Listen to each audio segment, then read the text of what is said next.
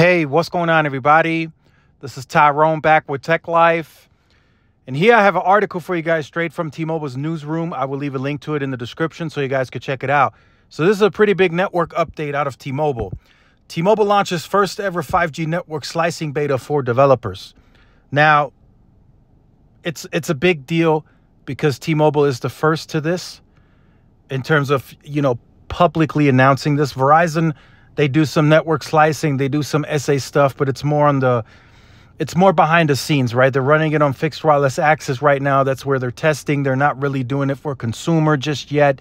Don't have enough NR radios across the network, um, or so I'm told by the by the engineers. So they're they're waiting. They're, they they have a more more wait and see approach. They're going slower. They're waiting till all of their radios are upgraded with NR, you know, and then they'll eventually go to SA more nationally. Then then they'll do the the, the network slicing commercially. They'll do the voice over NR. So Verizon's approach, you know, they're they're they're going to take their time on this. They're not rushing this. And AT&T, they're they're just about the same. So as I've stated in the previous video, T-Mobile is going to be the first on just about any newer technology that involves 5G, whether that's standalone, they've already done that. network slicing, voice over NR to 100 million plus pops, that's still that launch is still coming. Don't know what's taking so long on that, but you know, T-Mobile's strength isn't calling, so not not really too surprised there. If you look at all of their scientific uh, scores on RootMetrics, they generally score worst on calling, so not too surprised on that one. But again, pretty big deal here.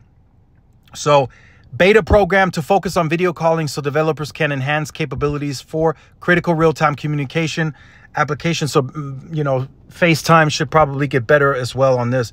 Beta participants already include Dialpad, Google, WebEx, Cisco, Zoom, and more. So that's going to be very interesting. So what's the news? T-Mobile launched a network slicing beta for developers based on application type, initially focused on bringing video calling applications to the next level. So why does it matter? Network slicing is a, is a new technology enabled by 5G standalone architecture that can deliver optimal network performance characteristics based on a use based on a use cases requirements. With the only nationwide 5G SA network in the country, T-Mobile is uniquely positioned to unleash this game-changing capability. So again, first first to that as well.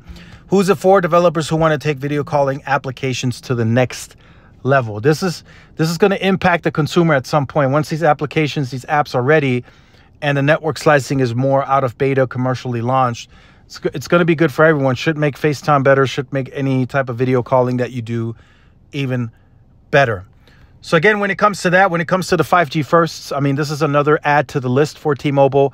They'll have plenty more um, as this year goes on, and anything involving like 5G advanced or you know 1024 QAM, whatever it is, T-Mobile is likely going to be first to to launching it commercially when it comes to anything involving 5G. So make sure you guys stay tuned for more. Like, share, subscribe. I'll see y'all in the next one. Peace.